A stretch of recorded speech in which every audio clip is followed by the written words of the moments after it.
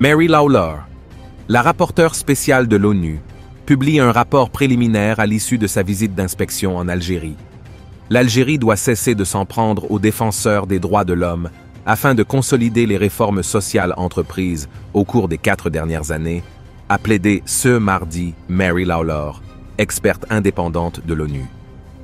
Tout en saluant les réformes évidentes ayant eu lieu au cours des quatre dernières années et le nouvel accent mis sur la participation citoyenne, je regrette que certains défenseurs des droits de l'homme travaillant sur des sujets sensibles subissent des restrictions constantes, a déclaré la rapporteure spéciale des Nations Unies sur la situation des défenseurs des droits de l'homme, Mary Lawlor, dans un communiqué publié à l'issue d'une visite officielle dans le pays. L'experte de l'ONU a observé quatre principaux types de violations utilisées pour empêcher les défenseurs des droits humains d'exercer leur travail un harcèlement judiciaire constant, la dissolution des principales organisations de défense des droits de l'homme, des restrictions sur la liberté de mouvement, ainsi que des pratiques d'intimidation et de surveillance ayant de graves répercussions sur la santé mentale des défenseurs et de leurs familles. Je déplore qu'un groupe de défenseurs des droits de l'homme ayant tenté de se rendre à Tizi Ouzou, où je tenais des réunions, en ait été empêché et ait été détenu durant dix heures, a-t-elle ainsi déclaré. Compte tenu de l'histoire récente de l'Algérie, des lois robustes relatives au terrorisme sont manifestement nécessaires, a indiqué l'experte. Cependant, il est regrettable de constater que les lois conçues pour lutter contre le terrorisme suscitent tant de terreur auprès des défenseurs des droits de l'homme en raison d'une définition trop large et excessivement vague de ce qui relève du terrorisme dans le Code pénal.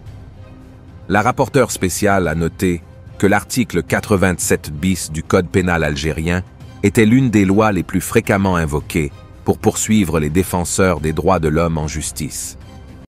Madame Laulor, dans son communiqué préliminaire, a appelé le régime algérien à 1. Libérer tous les défenseurs des droits de l'homme emprisonnés pour l'exercice de leur liberté d'expression, d'opinion et d'association. 2. Veiller à ce que les acteurs non étatiques n'intimident pas, et ne ciblent pas les défenseurs des droits de l'homme en raison de leur travail lié à l'environnement ou à la corruption, conformément aux principes directeurs des Nations Unies relatifs aux entreprises et aux droits de l'homme. 3.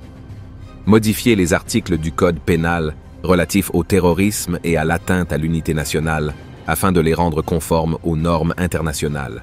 4 modifier les articles du Code pénal qui prévoient des sanctions pénales en cas d'insulte ou mépris à l'égard des personnes, d'organes ou d'institutions. Restreinte ou interdire la liberté d'expression au motif qu'elle insulte ou méprise est contraire au droit international relatif aux droits humains et à la liberté d'expression. 5. Adopter la loi sur les associations pour permettre l'enregistrement par déclaration. 6 assurer une consultation et un dialogue large et continu avec toutes les organisations de la société civile du pays. 7. Considérer les défenseurs des droits de l'homme comme des alliés, qui peuvent contribuer d'une manière significative à la vie publique en Algérie et reconnaître publiquement leur travail légitime. 8. S'abstenir de limiter la liberté de mouvement des défenseurs des droits de l'homme, notamment par le recours à la surveillance de routine et l'ingérence dans leurs activités. 9. Abolir l'utilisation des ISTN pour limiter les déplacements des défenseurs des droits de l'homme à l'étranger. 10. Veiller à ce que le Conseil national des droits de l'homme soit pleinement indépendant conformément aux principes de Paris. 11. Organiser une formation sur la Déclaration des Nations Unies sur les défenseurs des droits de l'homme à l'intention des responsables gouvernementaux, de la police et des services de sécurité. 12 mettre en œuvre les recommandations soutenues par le gouvernement algérien lors de son processus d'examen périodique universel l'année dernière et s'appuyer sur le soutien offert par le Bureau des Nations Unies et les défenseurs des droits de l'homme en Algérie pour les aider à les mettre en œuvre. Dans la page 8 du rapport, Madame Mary Lawlor n'a pas caché sa déception suite à sa visite en Algérie. Malgré l'ouverture dont m'ont fait preuve plusieurs ministères, et les assurances répétées que j'ai reçues d'eux sur la situation des défenseurs des droits de l'homme, je quitte le pays déçu par les occasions manquées d'intégrer le plein respect du travail et de la légitimité des défenseurs des droits de l'homme en Algérie, a-t-elle déclaré.